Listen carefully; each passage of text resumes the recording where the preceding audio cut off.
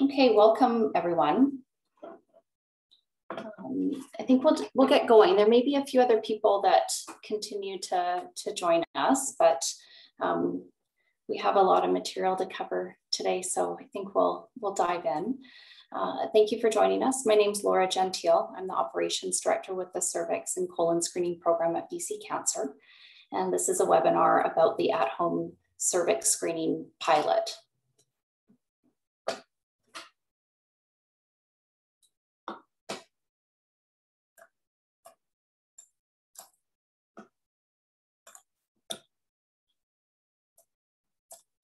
As we get started, I would first like to acknowledge, sorry, there we go. Here's my, my picture. This is the view that I get to see from my office every day. It's not the view that I have at home tonight, but um, this is uh, where I get to live, work, and play. So as we get started, I'd first like to acknowledge the territories I'm calling in, in from, which are the unceded territories of the Musqueam, Squamish, and Tsleil-Waututh nations. I'd also like to acknowledge the unceded and traditional lands of the Coast Salish and Nuu-chah-nulth peoples where this pilot project that we're talking about tonight will be taking place. And if you're calling in from any other areas, I also invite you to acknowledge the territory where you are.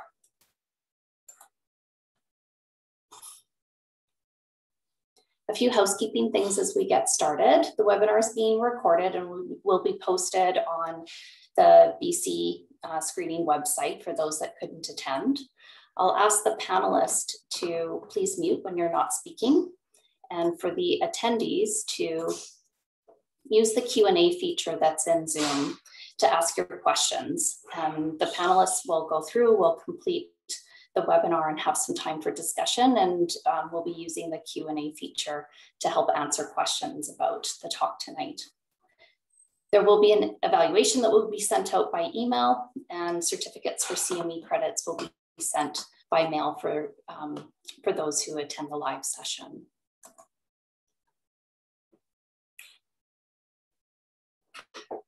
So on the docket for tonight, we're going to talk about HPV screening, some background and evidence. I'll give an overview of the pilot and Lori will talk about what your patients will probably want to know and we'll have some time for some questions and discussion. So we'll get started. I'd like to introduce Dr. Gina Ogilvie, professor with Canadian Research Chair in HPV Control.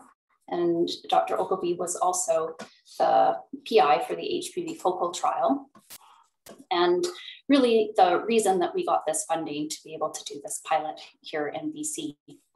And Dr. Dirk Van Niekerk is the medical director for the cervix screening program and has been involved uh, for a long time in talking about how we will transition over from pap tests to HPV primary screening in BC. So welcome both of you. Uh, thanks so much, Laura. And now take the next slide, please. It's a real pleasure to be here tonight. And we're really excited to talk to you about this uh, project. And as Laura, Laura kindly didn't say how long we've been working on this in too much detail, but uh, it's really nice to come to fruition. So by the end of today's session, we really want to make sure that you really have a great understanding of the case for change. So why we want to propose this uh, at-home cervix screening program using HPV self-collection. And what you're going to, what I'm going to particularly talk about, as well as uh, Dr. Van is really the high quality evidence we have to support a transition from pap tests to HPV testing for cervix screening. You're going to understand that actually patient collected samples are uh, as accurate as provider collected samples for HPV testing. Uh, we hope you, you leave with a good understanding of the extended screening interval, why that is being recommended, and how that's actually safe, very safe uh, for screening uh, this screening program. And also give you a sense of, of why self-collection actually reduces barriers to screening and can actually improve participation and actually equity in screening. And it particularly because it addresses things such as folks for folks who have uh, barriers to screening and particularly pelvic examinations to his, due to histories of trauma and cultural sensitivities, and for folks who've had difficulty accessing primary care providers, folks who've had difficulty getting PAP screening appointments, and as well how it enables screening for unattached patients. Next slide, please. So, particularly tonight, we're going to get into some key learning objectives. And what you're going to be able to is understand who we're identifying as eligible for the at home uh, cervix screening program, uh, to recognize when and what kind of follow up will be required for pilot participants, have a good understanding of the tools and resources that are available for patients and providers and also, we'll hear about the common questions from patients and how to support patients through their screening journey. I really just want to flag, we're going to talk about HPV focal, and Laura's already uh, sort of mentioned it earlier on, but we do in this team actually have a lot of experience using HPV testing as a primary screen. So we do have a lot of confidence in our, our ability to be able to, to move to this new technology really effectively and safely. Next slide, please. So a reminder that HPV, uh, the human papillomavirus, there's about 150 genotypes, uh, but about 40, what we say preferentially affect the anogenital region. So that's primarily the milieu where they thrive and are able to reproduce. Uh, of those 40, about 15 are oncogenic and associated with cervical, vulvar, vaginal, penile, and anal cancer. And uh, particularly as we drill down to cervix cancer and cervical cancer, oncogenic HPV is associated with over 99% of cervical cancer cases globally. So we call it uh, but the necessary but insufficient cause of cervical cancer. So it needs to be there for people to develop uh, cervix cancer. Next slide, please. Uh, HPV is the most common STI uh, globally, and it's transmitted uh, sexually through intimate skin to skin contact, not necessarily intercourse. And what we know is that any sexually active person is at risk for HPV. Really, it's more of a marker of sexual activity than anything else. And uh, about 80% of sexually active people at some point in their life will be exposed to HPV. Uh, we know that the folks who are at highest risk of HPV acquisition are those who are newly sexually active and young adults who tend to have the most uh, dense sexual networks and the most uh, partner exchange. Uh, but the good thing is that even though there's, it's highly prevalent and a lot of uh, folks acquire it, the majority of newly acquired cases resolve uh, within one to two years, and most are asymptomatic. So, so the, although the majority resolve, because it's such a prevalent infection, we still have lots of, of women who uh, have this infection, and then uh, it transitions as we go forward. We'll talk about that. Next slide, please. What we're not going to spend as much time on, but just so we touch on it, is that of low risk HPV, which is associated with anogenital warts, uh, so HPV type 6 and 11. Um, it, it, this is not associated with cancer. Um, there are some testing platforms that include a low risk. We won't be, we're not including that. This is not what we're going to be focusing on because we're doing this because we are interested in understanding and preventing and eliminating cervical cancer. However, uh, many people ask about it. So we just wanted to flag that uh, many females who develop visible anogenital warts may have difficulty clearing uh, HPV and need to just be encouraged to continue on their regular screening journey. And as you know, uh, although uh, anogenital warts may recede and may not be seen, some folks can still transmit those to their partners. Next slide, please. So let's focus a bit here on the oncogenic HPV. As I mentioned, there are about 15 types, and these are associated with various cancers if not spontaneously um, cleared. What, what I was mentioning is that uh, young folks acquire the HPV infection and usually it clears. But for those who it doesn't clear in, uh, within about 10, 10 years, it may start to persist and change the cells in the cervix that lead to cervical cancer. So high risk HPV types 16 and 18 cause about 70% of cervical cancer and precancerous lesions around the world. And in Canada, uh, an estimated uh, 1,350 uh, were diagnosed with cervical cancer. And, you know, the way I like to phrase this is every year, about once a day, a woman of reproductive age dies from an entirely preventable cancer. So this is really something that we can address and why we're so interested and passionate about this. Next slide, please.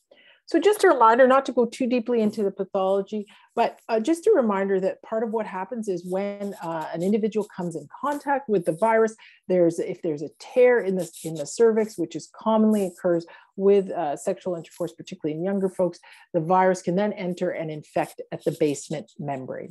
And that can lead to, in, when it's the infection is persistent, to changes, morphologic changes in the uh, cells of the cervix. Next slide, please. And so, as we discussed, there's sort of a natural history. By and large, the majority of HPV infections that lead to cervix cancer are acquired at a younger age, uh, so sort of before 30. Um, and you can see here what happens is, is, is young women acquire HPV infection and a large percentage of them clear. But there's a percentage who don't clear that infection, and those individuals go on to develop precancer and then a percentage of those then go on to develop um, cancer. What PAP tests do, as you can see in here, is you they're looking for changes in the cell. Whereas what an HPV test is doing is looking for evidence of the HPV infection. And what we're trying to do is identify those precancerous lesions more efficiently so we can then send women on for colposcopy and treatment. So I think that's that's a nice sort of picture that actually shows what happens. The other thing I'll just mention here, of course, is the vaccination, and we'll talk about it with the next slide. But vaccination actually prevents that HPV infection from happening. Next slide, please, Laura. So cervix cancer is almost entirely preventable through two things. One, primary prevention, second, secondary prevention. Primary prevention is the vaccine uh, HPV vaccine is ideally given before uh, individuals become sexually active and are exposed because it is a preventive vaccine. And we know that we get the most robust immune response uh, under the age of 15, but it's still actually effective if given later. But again, it's a preventive, not therapeutic vaccine. So once a person has an HPV infection, the vaccine does not get rid of it. Um, it is also recommended post-treatment. So once a woman has had the, the cervical dysplasia excised, which likely is what hosts uh, the HPV uh, infection, a vaccine does reduce the recurrence uh, as well of precancerous lesions. But today, what we're going to focus on is secondary prevention, which is screening, which is with which is detecting and treating precancer before it's invasive. Why is that important? because we know the vast majority of women in British Columbia uh, right now have were would not have been eligible for the HPV vaccine, so they need screening. So what we want to do is optimize the screening pathway for them. Next slide, please. So, so we've been really fortunate with PAP screening. There's no doubt. It's it's been an important tool that has helped us detect those precancerous lesions. But the truth of the matter is actually in and of itself, an, a PAP test actually has quite a low sensitivity and actually quite a low negative predictive value. So the way we accommodated for that was actually those frequent testing, because really a, a more robust screening tool, you would not have to repeat it as frequently as we've had to. So, in contrast to, to, pap smears, what HPV testing does, that detection of that HPV test, actually detects the presence of HPV DNA through molecular testing. And the sensitivity of that is much higher, about 90%, and has a much higher negative predictive value. What does that mean? When an individual is negative for HPV, their likelihood of developing a precancerous lesion down the road is significantly lower. That's perfect for screening modality. That's what we want when we're creating a screening program. The other thing, compared to a PAP where you you know have to visualize visualize the cervix, you got to visualize the junction, you got to take a sample from the junction. If you can't see the junction, you need to use a cytobrush. You don't have to do that with HPV testing you can actually just get a self-collected vaginal sample because it is in the, the vaginal secretions and you detect the HPV in those secretions. This allows for women themselves to get a, a sample and does not require a practitioner to get that sample. Next slide, please.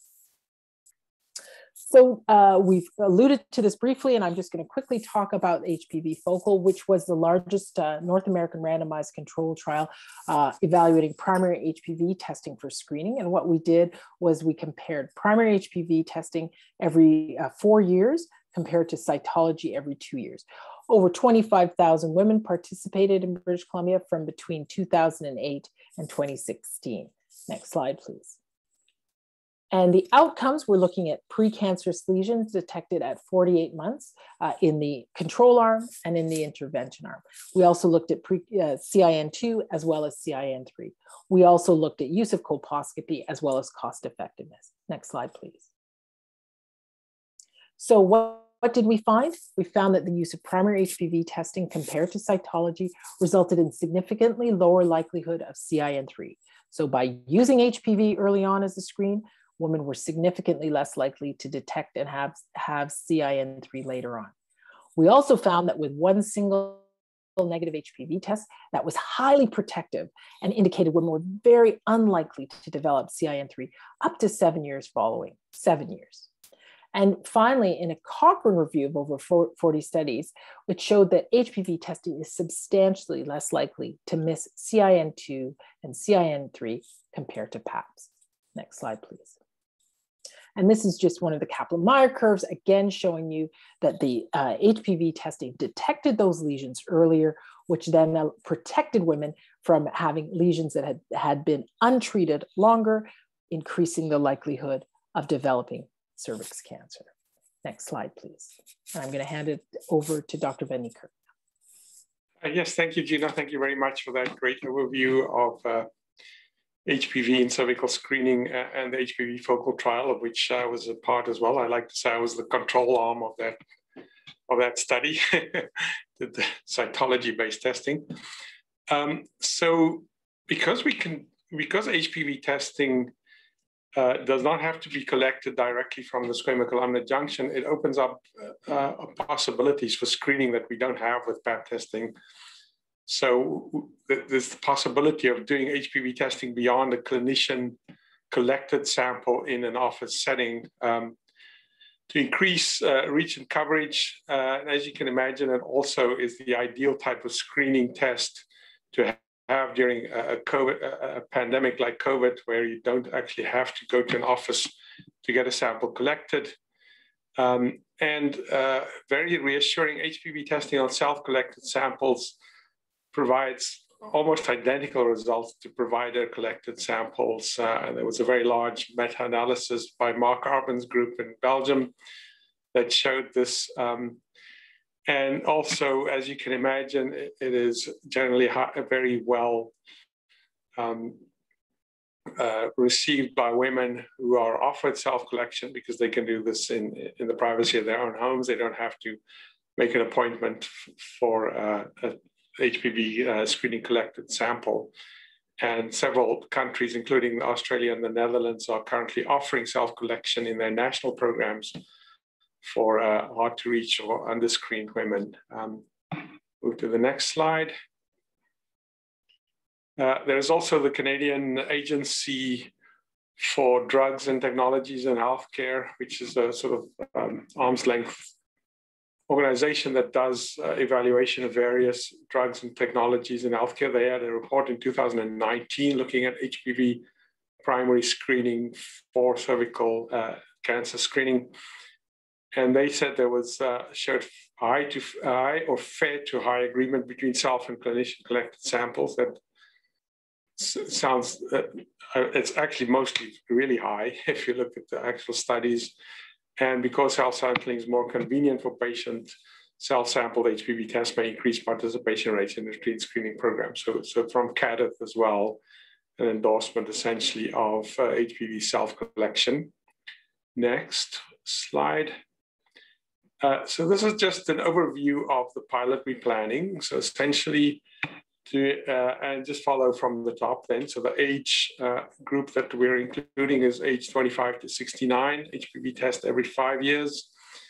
And so at so the initial test would be either negative, and if it's negative, we would just screen every five years. And I'll show some data to show that that is safe to do.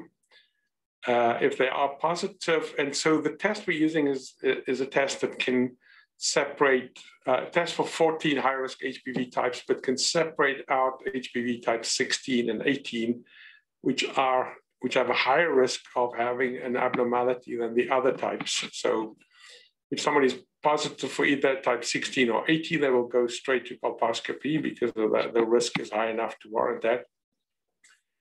Uh, and if they're positive for the 12 for one of the 12 other HPV types, they will have a primary care uh, provided pap test. So they would make an appointment, go for a pap test, which will be read in our laboratory. And depending on the result of that pap test, uh, if they have any abnormalities, so ascus atypical squamous cells of undetermined significance or higher, or low grade, uh, anything worse than that, they will go to colposcopy. If it's negative, there'll be a repeat HPV test at 12 months and similar stories. So at that time, if the HPV test is positive, um, for 16 or 18, they go to colposcopy.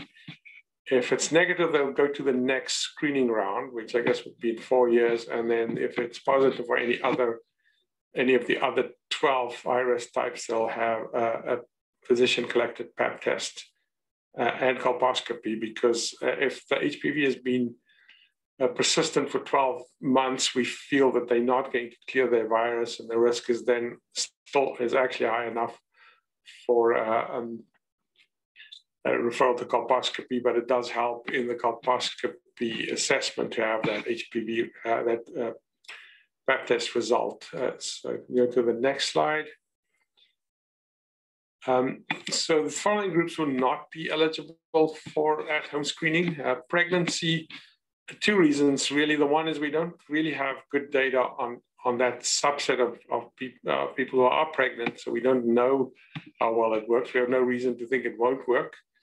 The other thing is just that if there is a coincidental adverse outcome that has nothing to do with the HPV self-collection, there is the concern that it might be ascribed to that HPV self-collection you know, inadvertently sampling from the endocervical canal and so forth. But uh, there is really no evidence to show that that is a problem. But for now, we will not um, include pregnant uh, patients in the study. If they are, if they later prove to be pregnant, I don't think it's a problem. It's just that uh, upfront we will not be offering it. Uh, for immunocompromised uh, participants uh, and those um, either HIV or solid organ transplant recipients on, on immunosuppression. The problem is they have a very high rate of HPV positivity. HPV testing in that setting has, has an even lower positive predictive value. So, first of all, many of them have abnormal screening results. Their risk profile is not the same as, as it is for people who are not immunocompromised. So, it's not as well established that HPV screening is is the correct thing, uh, is the correct test in that setting. And maybe more importantly, there's insufficient longitudinal data to support that extended screening interval to five years. So they should continue to have their annual PAP tests as they do now.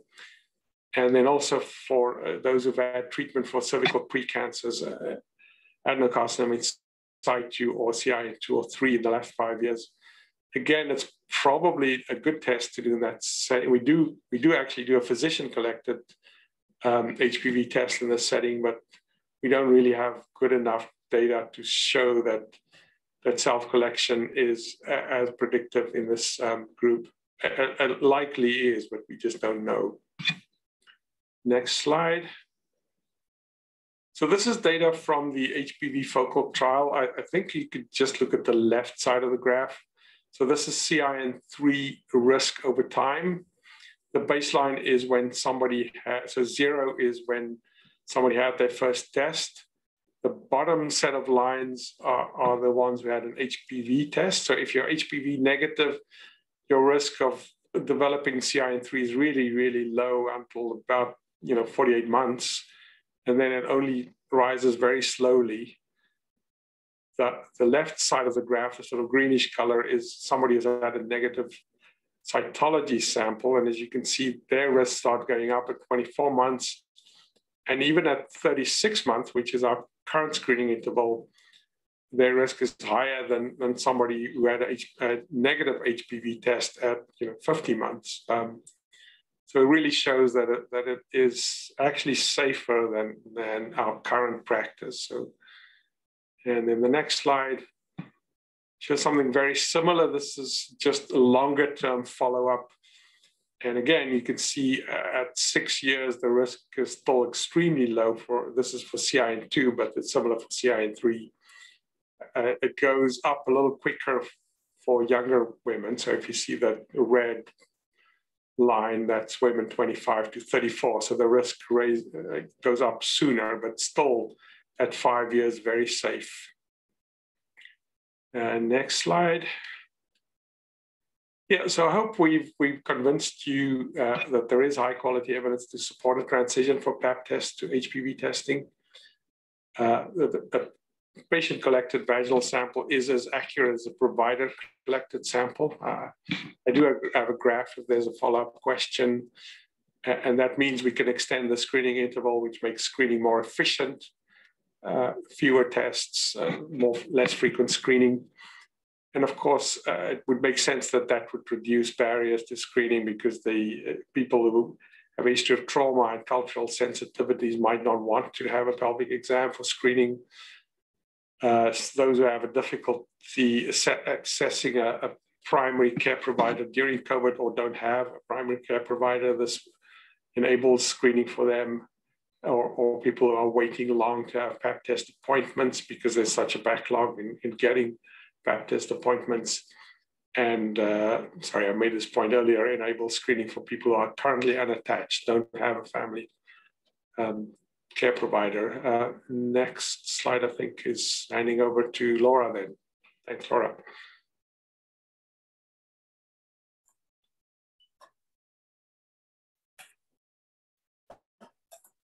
Great, so I'm going to talk um, uh, about the, the pilot, I'll give you a bit of an overview.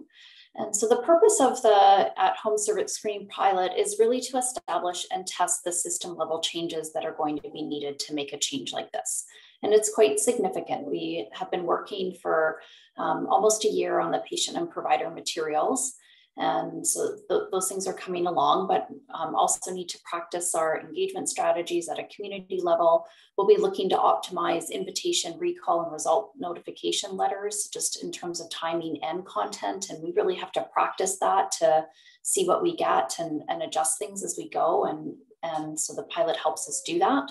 And there's lots of work for us to do within our IT system to be ready to uh, request kits to be mailed out and receive HPV test results and send letters to patient and providers.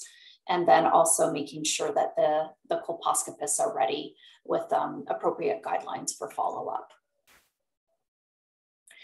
So for the pilot, we plan to evaluate um, the response to at-home cervix screening, so it, um, uptake and, and follow-up response in three different cohorts. The first is the never screened or not screened in more than 10 years.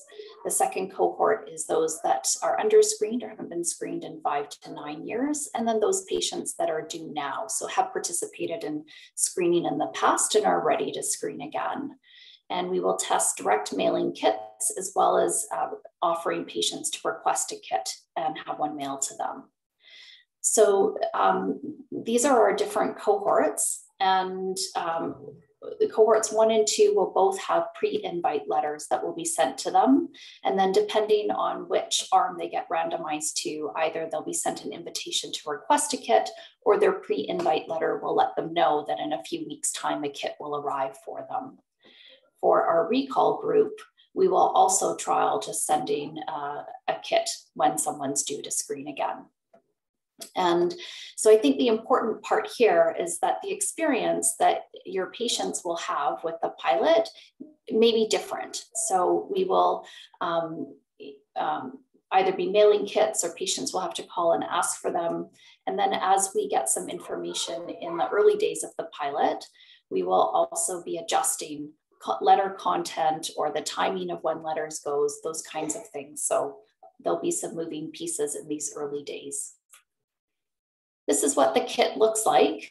And it is, um, it's a folder that um, uh, the team at BC Cancer has designed and has a place on the left side for a brochure and the instructions. Uh, right here, brochure and the instructions, and then at the spine, the sample collection device, and then the return mailing envelope.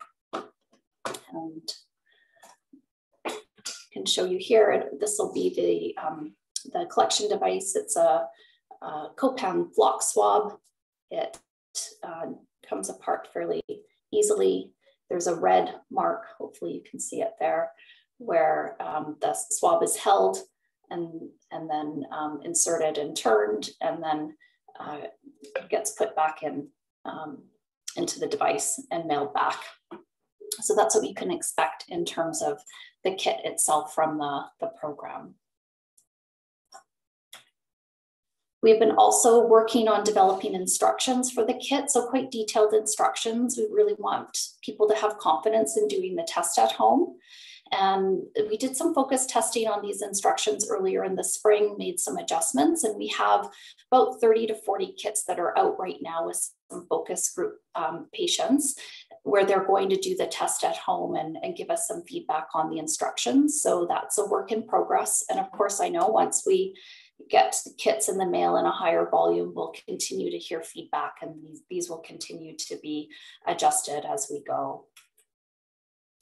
We have developed some brochures for patients. So one is a general at-home screening brochure uh, talking about uh, at-home screening, and then another brochure on the results that someone could expect with at-home cervix screening.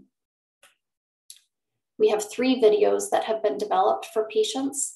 Uh, again, one a general uh, video about at-home cervix screening, a video on uh, the instructions for completing the test at home, and then a video on results. so all of these will be available to people participating in the pilot to support them. There will be correspondence that we send directly to patients. And so this will look like pre-invite, invite, and recall notice letters. There will also be a letter and a requisition that will be included with the kits that we mail out. Patients will receive results letters as well, and then we'll be evaluating the, uh, the program throughout the process. In terms of um, the primary care provider role in the pilot, I think um, we can expect that invited patients will ask you about the pilot and whether they should participate. And some patients may ask for help with completing the kit. So we would um, ask that you encourage patients who are eligible and who have been offered at-home cervix screening to complete the self collection um, themselves and return it. And if a patient brings in an at-home cervix screening kit, you can provide instructions and um, a place for them to take their own sample, or you can use the at-home cervix screening kit to take the sample for the patient. That would work too. And you can return those completed samples just with the, in the same way that you would send a pap test to the cervix, cervical cancer screening laboratory. And patients may have questions about their results and they may need an appointment with you to talk about that. We expect that about 7% of patients will have an HPV other high risk positive result and we'll need a, a pap test from a primary care provider. So you'll receive that information through the HPV laboratory test result with a recommendation on it for a pap test if that's what's um, being recommended. And, uh, and then for patients that have an HPV 16 and or 18 positive result, they'll be uh, recommended for colposcopy. And the facilitated referral process that exists now when patients are recommended for colposcopy will continue for these patients too. But I think we can expect that because we're reaching out to patients that have never participated in cervix screening or haven't in a while, that there are probably reasons for them personally on, on why they've not participated and they may need some additional support to access the follow-up that's recommended for them. And I think the primary care providers will play an important role uh, in, in those discussions with patients. We can expect through the pilot that there'll be some patients who don't have a primary care provider, which is just the nature when we start to invite people that haven't participated before, we don't know who their primary care provider is some of the time. And there are, of course, many patients who just don't have a primary care provider at this point. And I think one of the most important opportunities with at-home cervix screening is to be able to reduce barriers and improve access to screening. And, um, and so making this test accessible for people that don't have a active primary care provider is, uh, is an opportunity that we can offer. And so we've been doing some work with the participating divisions and have identified clinics in the community where we, we can link that um, patient who has a, an HPV positive result with a clinic to help them get the support or the pap test or follow up that they need through the pilot. So those discussions, we have more discussions happening with the clinics that have um, volunteered to support that process. To help you in your discussions with patients, we have created a provider guide, and this is structured in such a way that there's a, a topic, a question, an answer, and then uh, some detailed information about what the evidence says, as well as some key messages that you can use to answer questions that your patients may have. And uh, a draft of this um, has been available for a bit. Hopefully you got the link to the, the Dropbox to be able to see it. And new versions will be coming out shortly. But I think this is a really important part of the pilot. How well do these types of tools work for you? Do you like them? Does it contain the information that, that you want and that you need? What are we missing? What should we do more of? What should we do less of? So we really appreciate your feedback as you start to use some of these tools. There will also be correspondence to providers uh, throughout the, the pilot. And uh, certainly, I think at least in the early days, and we'll get your feedback on this as we get going, um, but when we invite a participant um, to, to participate in the pilot, um, if we have a primary care provider on file, we'll notify you that your patient has been invited, just so you can support those conversations and know that that has happened. You will also receive HPV, HPV test results directly from the lab. So just like you do other lab results at this point in time. And if a patient has been recommended for colposcopy, due to an HPV 16 and or 18 positive result, you'll receive the notice of referral for colposcopy. You'll also receive reminder notices if a patient was recommended for a PAP test and one hasn't been received within a certain amount of time. And similarly, if a patient was recommended for colposcopy and we haven't received that colposcopy or treatment report, then we'll reach out uh, to ask what's happened for that patient there will be patients that will have uh, HPV test result that's invalid or the, the lab was unable to test the specimen. And for those patients, when we receive that invalid or unable to test result, we will send a kit out to the patient once we receive that. So you'll get a notice that that kit has gone out for those patients so that you're aware that uh, a repeat kit has been offered to the patient. And I'll pass it over now to Laurie Smith. Laurie is a registered nurse with a certified practice. She's the research manager for HPV related diseases, cancer control research. She was uh, the, the frontline lead for the HPV focal trial, uh, doing a lot of that operations work and is currently leading the cervix check self-collection research project, which is occurring in some communities of BC. And as part of her practice, Laurie provides pap tests as well. So I'll hand it over to Laurie. Thanks, Laura. Um, as you can imagine, uh, with this massive change to screening, uh, people will have questions. And in BC, we are fortunate to have had a, a lot of real world experience with HPV testing, as Gina said earlier, with the focal study and with our self collection projects. And through screening thousands of women over the last several years, we've logged questions and have crafted responses based on feedback. So we feel um, confident in a lot of the uh, work that's gone into the pamphlets that uh, and the materials that Laura has described in hoping that we've anticipated these questions and will help prepare people uh, as this project rolls out. But there's two general themes and the first is questions people have about HPV testing itself. And then of course, when people get HPV positive results, it opens up a different set of questions. Next. So the main questions uh, that involve testing are what is HPV? What has it got to do with cervical cancer? Why do we need to change? This has been working. Why do we need to change? What's the difference between HPV and PAP testing? And I would say the most frequently asked question surrounds the interval of five years. Uh, people think that when you do something less frequently, it must mean they're getting less care. Next. So as Gina mentioned at the beginning, um, just kind of reinforcing the prevalence of HPV. HPV is the very is a very common STI. Most sexually active people will be exposed to it. So we encourage normalizing HPV and um, some language that we found work is just kind of calling it the common cold of the genital region that just helps reframe for some people. Uh, people need to realize HPV has always been the cause of cervical cancer and abnormal PAPs, but now we actually have the ability to identify if HPV is pre present and identifying women at risk for cell changes earlier and better. And the PAP, well, whereas the PAP has already identified changes that have occurred.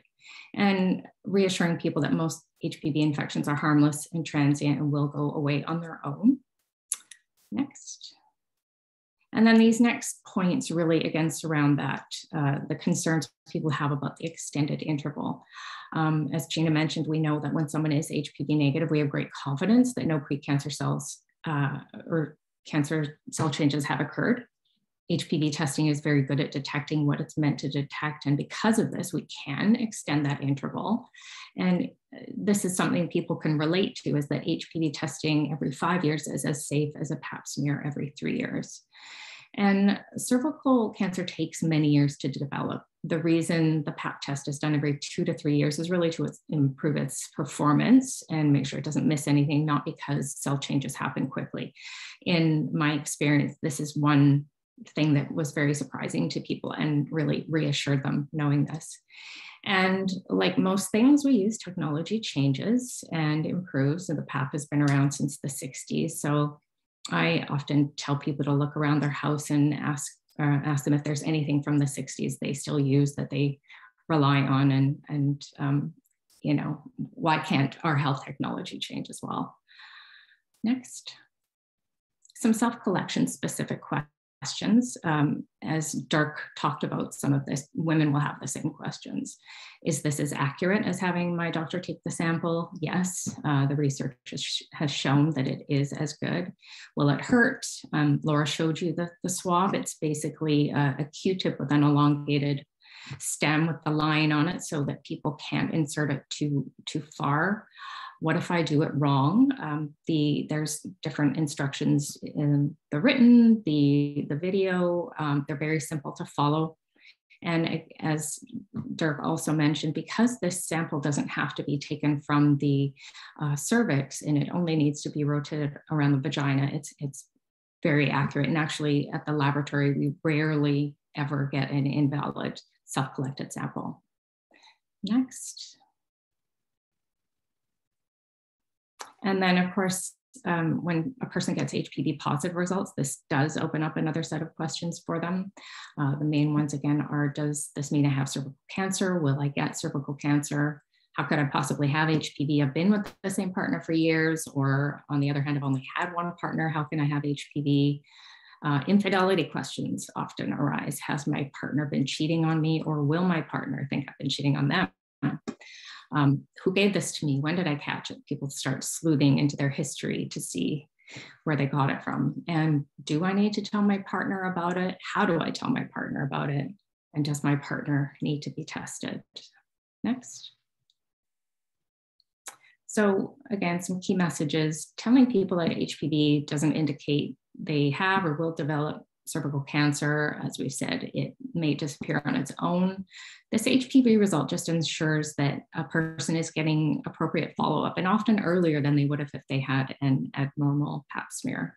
Um, we can't emphasize enough telling people how common HPV is, emphasizing the prevalence, normalizing it um, reminding them most people will be exposed at some point in their lives. And really, it isn't possible to know who gave it to you or when you caught it, as the, the natural history slide showed you can get it years and years ago. And it certainly doesn't indicate promiscuity or infidelity. Uh, the inf- infection um, is often passed back and forth between partners, so it's really not possible to determine who, who got it first in the relationship.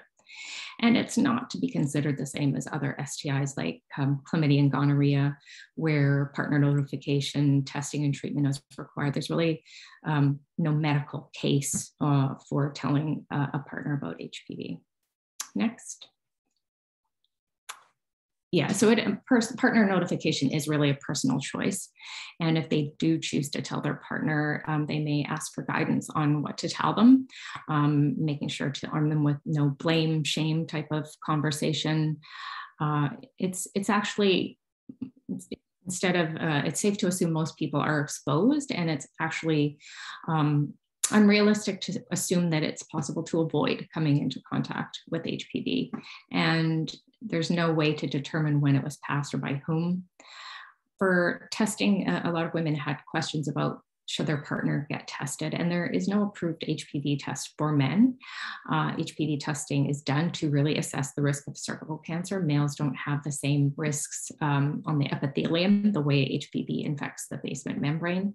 Um, but just to note, this does not apply to MSM who have receptive anal sex, and that, that's a different conversation. But just uh, we found that a lot of heterosexual couples have questions for their for their male partners. Um, we hope that you know the provider document that's been prepared also um, will help inform these conversations with your patients. Uh, so, uh, Laura, I'll pass it back to you to start the discussion.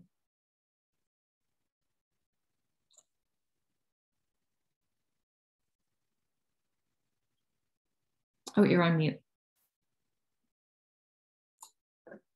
Thank you for telling me. Um, through the Zoom function, there is a, a, a Q&A uh, functionality. If you have any questions for any of the panelists, um, happy to, to talk about that. And um, I see one here in the chat from, from someone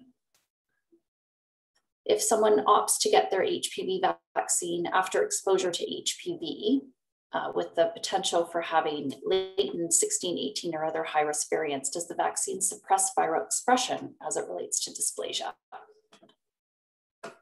Yes, I'll have Gina. yeah, I can. Yeah, I can jump on that. So, so again, how the vaccine works is we, we give it usually for adults with three doses. For people under 15, two doses for adults, it's zero to six months. Um, usually we see some antibody response within sort of two to three weeks. So certainly we don't use it like a post-exposure prophylaxis, which is sort of what I think you're describing here, as we do say with HIV, with PEP or, or NPEP. Um, and then further to this, um, if someone already has dysplasia and gets the vaccine, it will not address the that specific um, sort of uh, dysplasia. If you treat their dysplasia and give them a vaccine, it, there is a reduced chance that they will have a recurrence of that dysplasia. That's likely because we're actually preventing them from reacquiring HPV from their partner. That's probably the most likely reason why that vaccine works in that setting. That said, the, what the, the, there's also a benefit of that vaccine because it will prevent them also from acquiring any other HPV type should they have another partner, etc.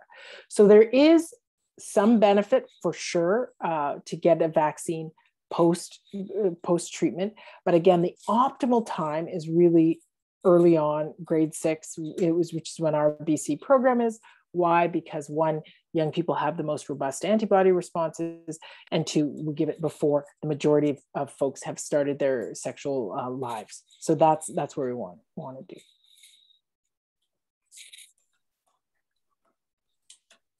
Okay, there uh, aren't other questions in the Q&A or on the chat.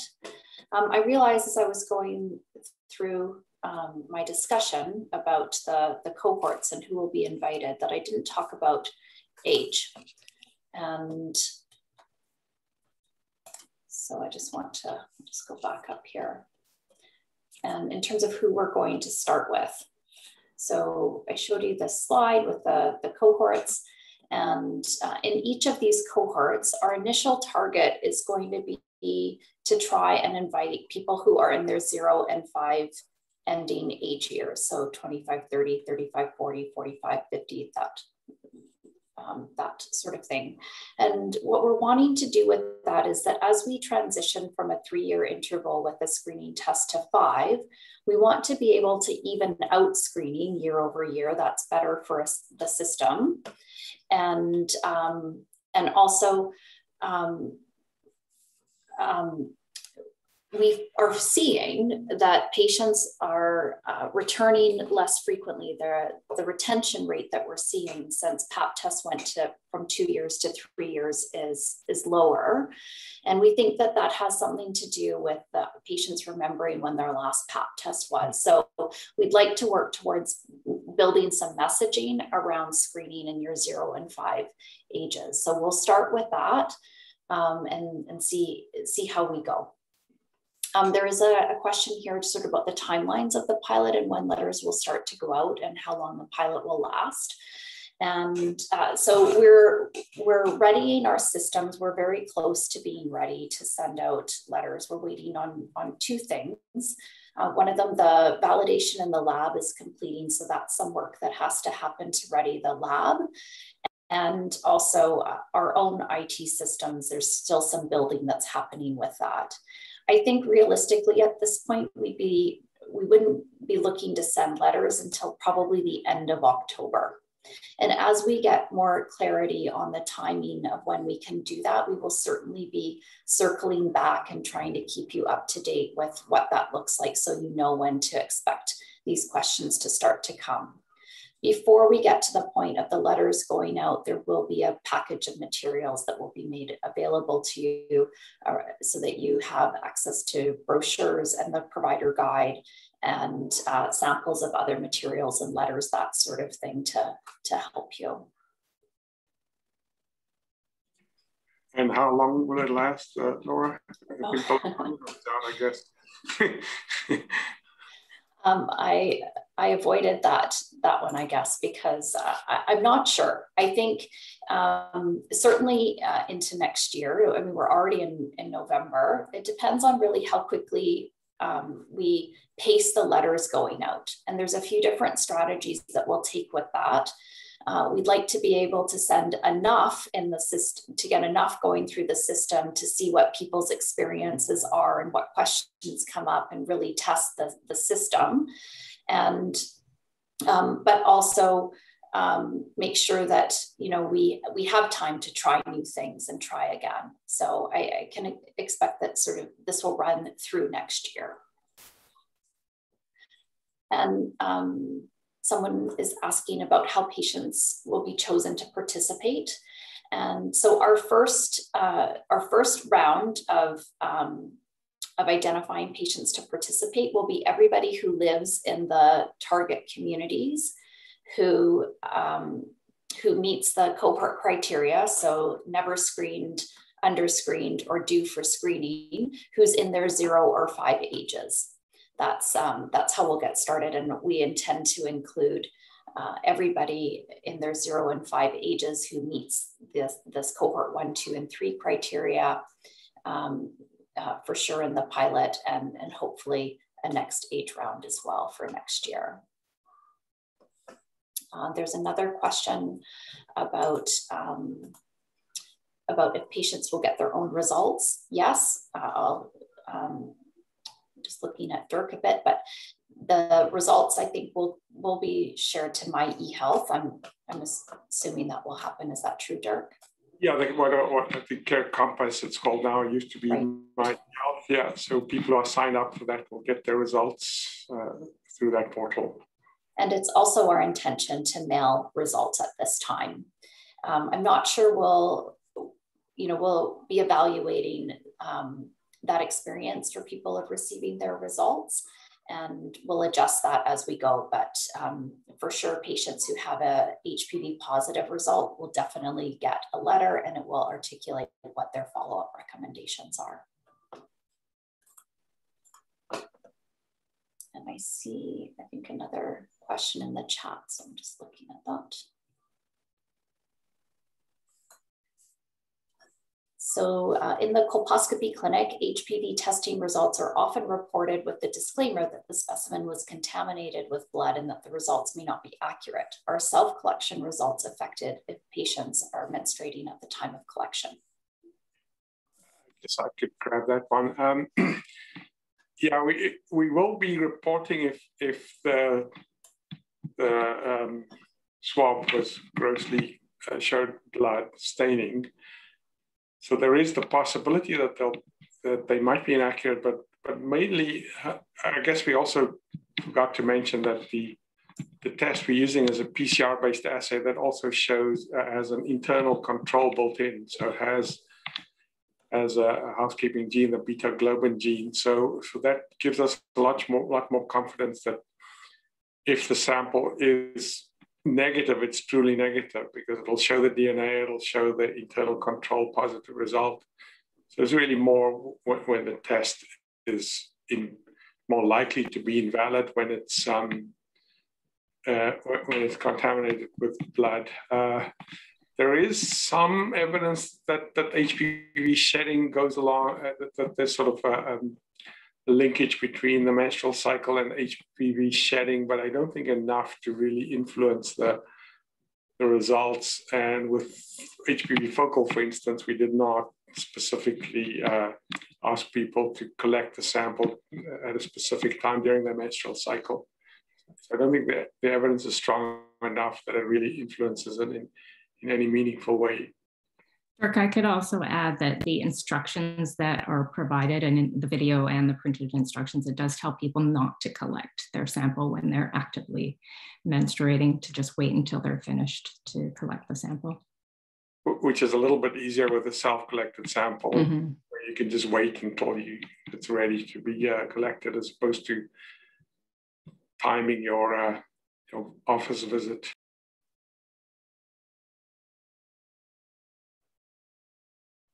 Okay. I don't see um, other questions coming in. Uh, I've posted my email address and my it's my cell phone number. Um, this is um, this is an important piece of work that we're embarking on, and we really need to hear how it's going.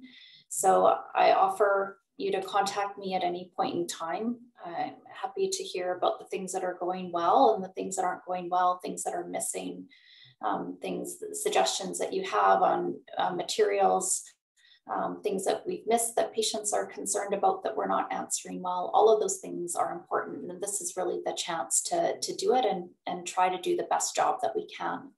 So um, feel free to take that down or uh, you can reach out through the, the screening uh, programs. Um, just generally uh, on our website, there's contact information there and, and you can always find me. And if I don't have the answers to your questions, then I'll, I'll work to connect you to the right people.